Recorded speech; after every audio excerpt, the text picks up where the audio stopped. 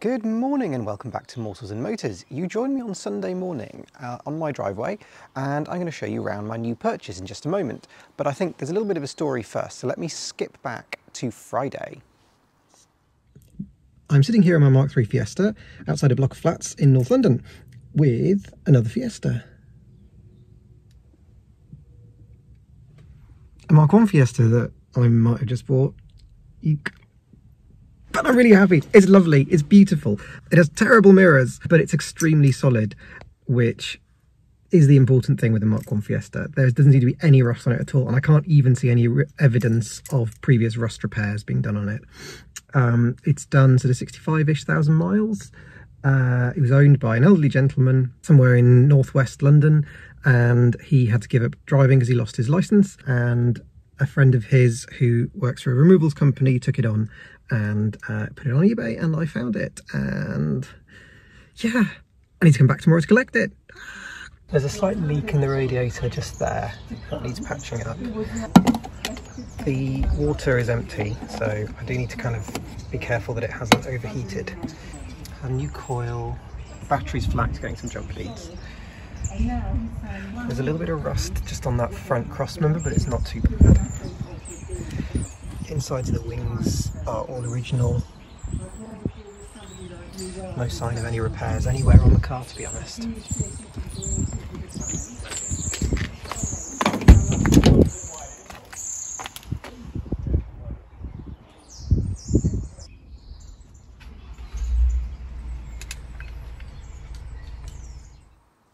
So now you know what it is. Now, I was going to film a collection caper yesterday um, because the plan was I had ordered a new radiator from Euro Car Parts that was supposed to be delivered by nine o'clock on Saturday. So nine o'clock came around, went to Euro Car Parts, they said, oh, it wasn't in the delivery that arrived this morning. Thank you. So we bought some Radweld and some putty uh, and went down to London anyway because we thought, you know what, we've invested in this now, the car is full of tools. Called the seller as I was leaving Halfords here, having stocked up on a few parts, and uh, said I'd be there in about an hour and a half, and he said, absolutely fine, give me a call about 20 minutes before you get here. No problem, I did that, he didn't answer when I got there. Um, he didn't really answer. I managed to get through a couple of times and he kept saying, oh, I'll be there shortly. I'm just working, doing a few things, doing a few drop-offs. Anyway, four hours later, he turned up with the key. Uh, by which point we were really quite hacked off. But never mind, it's okay. But you can see why we probably didn't do any filming. Anyway, it goes from bad to slightly worse. Uh, I was assured the car was a runner. Uh, he said he'd been driving around in it. When we finally got the keys to be able to actually get into the bonnet and try starting it, put in a new battery, we plugged up the radiator um, so that it would at least hold some coolant and we started it and it started fine and it ran and then it cut out after about 30 seconds and then that repeated and then it wouldn't start at all and uh, yeah so we did the usual checks. We kind of cleaned up the distributor cap, uh, rotor arm, took out the spark plugs, cleaned those up. They looked a little bit sooty. Then I took the air filter off and I could see that there was no fuel in the carburettor. There's no smell of petrol, even though we'd been cranking it and cranking it and cranking it. Um, took off the fuel hose going into the carb and that was full. So I think the fuel pump is working, but the um, carburettor is blocked in some way, shape or form. So at that point, it was getting dark. I'd been in London for hours and hours and hours, just wanted to get home. So we called the recovery people who uh, fantastically came to our rescue within about an hour and drove me and the car home. And that brings us to Sunday morning. So let me show you around the car. Right, so there we are. This is the first time that I've actually had a look at it properly, so you're getting a live view of kind of what the car's really like. Because yesterday we spent most of the time under the bonnet, and the day before, uh, when I actually viewed the car, it was raining, so uh, hasn't had the best of starts. So this is a 1981 Ford Fiesta Mark 1. The trim level is L. This is not a base model, I repeat. Klaxon, this is not a base model. Although it was registered in February 81, I think this is a 1980 model year car um, because of the trim uh, that's available on it. And this is a London car. It came from where GH Plate is, which is somewhere in South London. The tax disc says Barking, uh, that was last taxed in 2013, last MOT'd in 2014, so that's when it was last on the road. And yes, the big elephant in the room is these are probably the world's most revolting door mirrors. And uh, yes, I need to go and find immediately the correct pair of chrome Mark 1 Fiesta L door mirrors as soon as possible. Having a look around the car, you can kind of see that uh, this car has slightly been dragged backwards through Halfords in the 1980s. So we've got those uh, funky door protectory things. We've got an aftermarket locking fuel cap. If I know my Ford trim, I think that bottom stripe is the correct sole stripe for an L for 1980, but that the dealer would have added these this kind of collection of stripes above, um, which is quite fun. Very sadly, there's a bit of a dent there, but everything that's on the car that's kind of been damaged at some point have always been touched up, so it's not rusted, which is brilliant. And you can even see here uh, where there must have been a tiny bit of rust bubbling at the corner there. Um, the original owner has kind of filled it in with some paint uh, where the stripes were and everything, just so it matches up, which is really sweet, I think. We've got number plates etched into the windows on all of the windows. So they're original. Fiesta 1.1L, XGH 678W. It's my second GH car. Uh, PGH is also uh, from the same area. I love the Mark 1's uh, kind of reversing and fog lights because the reversing light wasn't mandatory at all, um, so they didn't put them in the main cluster, and the fog light is only for certain markets, so again, they didn't bother putting them in the main cluster. There are a few little scabs just inside the bumper there where it's been touched up, but it doesn't seem to have rusted, so that's good. Looks like the bumper may have had a very slight little knock there in the back. And it's a pretty similar story on this side. There's a few kind of um, scratched touches up there. There's some touches up of uh, the stripes over there again, and we've got some more Halfords accessories and a revolting door mirror. At the front, it's also incredibly solid. Um, these rust so badly around the uh, front wing here and the headlight. There's nothing there at all. Uh, this seam often rusts, there's nothing there. The valance seems really, really solid. Only the little touch of rust is kind of here. There's a little bit of surface rust just inside the scuttle, um, and I'm sure that can be dealt with. We're missing a cap for that wiper. That's uh, not the end of the world, certainly. And more Halfords bling. We've got some uh, window tint at the top there. I don't know whether you can just about see. Uh, sort of stick-on tint. Okay, you've held on this long. Let's show you inside it.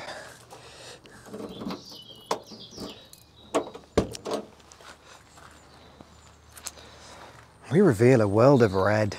Oh yes, we have red houndstooth. Isn't it just fabulous? I adore it. Look at it. It's in really good condition apart from this kind of little bit of wear here. That's a bit of a shame. And there's a little tear in the driver's seat. I'm not sure what I'll do, whether to, to reupholster it or, or what. Um, I'll consider that at some point. Who knows? So yeah, we have red door cards, this kind of deep kind of cherry red. It's really rather lovely um, with a big door pocket and an armrest because this is L, we're in luxury. We get a side air vent that would not be there on a lower spec. On the dash, it's uh, 65,000 miles, I think it's done, 65,390.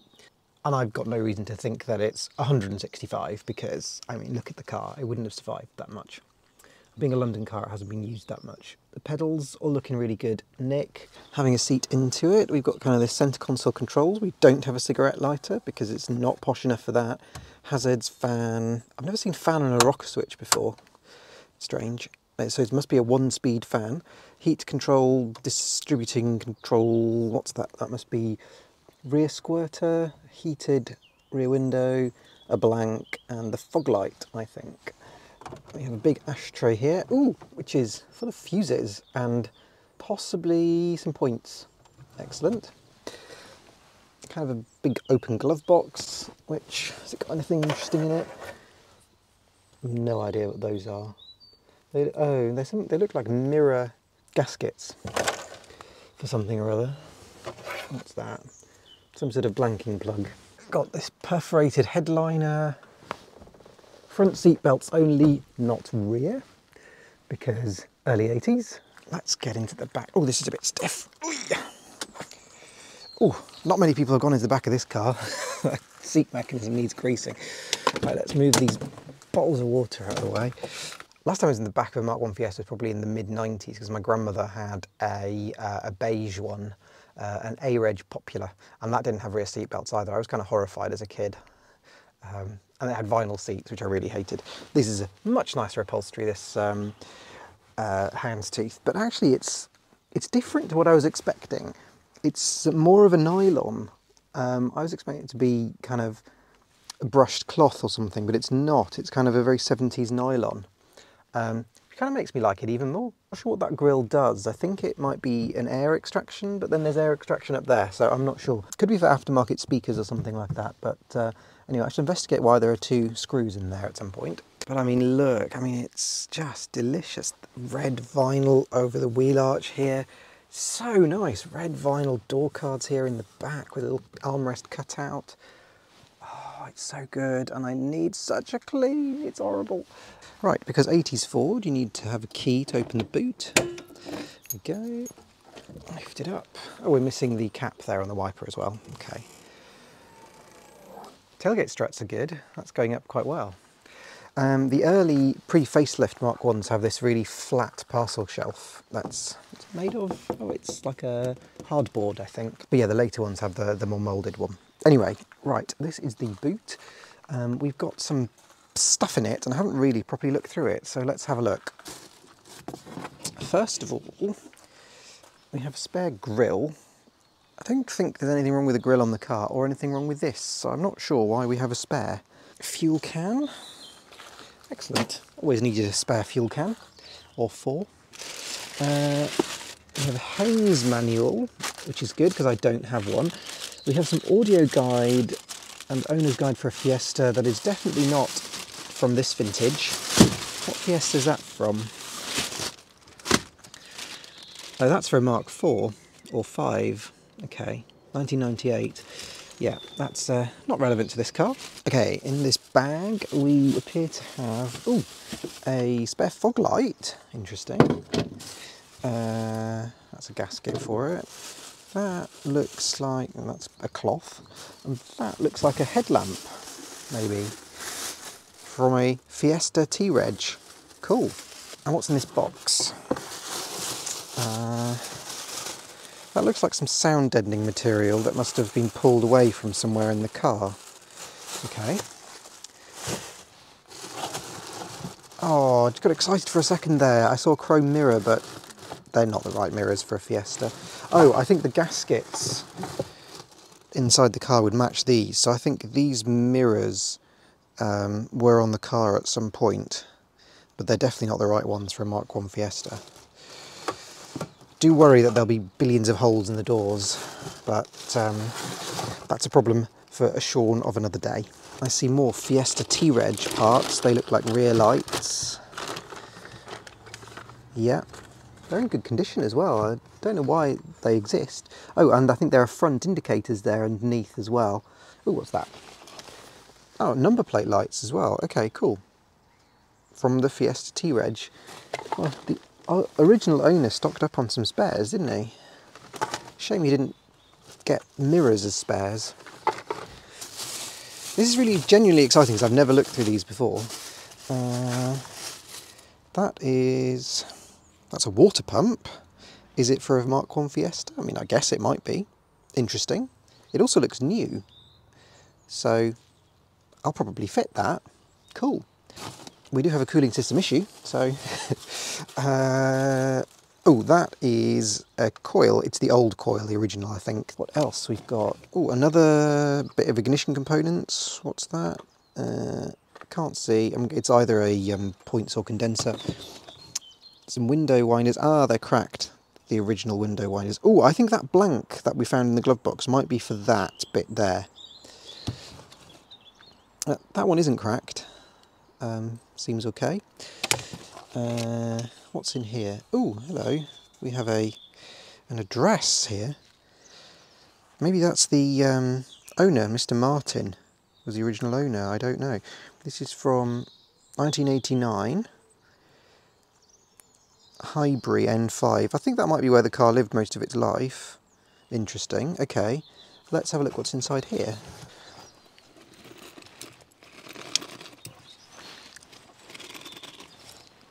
Hmm.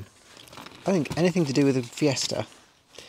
They look like little components for some sort of machinery. Okay. Well, we'll put those back, but I think that certainly gives us a little tiny clue as to the provenance of this car, in that it might have been owned by a Mr. Martin. Okay, and then, oh, we have another headlight. Hopefully this is the other side from a Fiesta T-Reg. Cool. One spark plug, a cloth, oh, more spark plugs, and a cloth. Well, that's it. Contents of my boot. Hope you enjoyed that. I think I better show you the boot floor now, hadn't I? So on a Mark 1 Fiesta, you have these kind of hardboard floors, which are velcroed in place. And we have an extremely clean rust-free boot floor. They always go in that corner just there. This looks super, super solid, um, which I'm really delighted about. That's the jack over there. Let's get the other side up. I'll get out the car actually. And again, super solid. One question I have is that, so the L spec has a black rocker panel from factory, but I don't know whether it extends all the way to the door rubber like it does on this car. It kind of looks like factory paint if you look at the edges, but I don't know. Um, is there any experts who might be able to tell me uh, whether it should just be straight along that edge and white on here, or whether it should be black all the way across. I mean, I'm, I kind of hate the black. It makes it look like it's been welded and badly repaired, but it really hasn't. 1980 on that uh, seatbelt. Anyway, reason I'm in here is let's get the uh, bonnet open, shall we?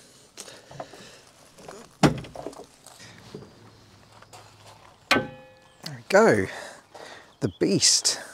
The 1.1 version of the Kent engine with all 53 horsepowers. Uh, only got the one litre in that.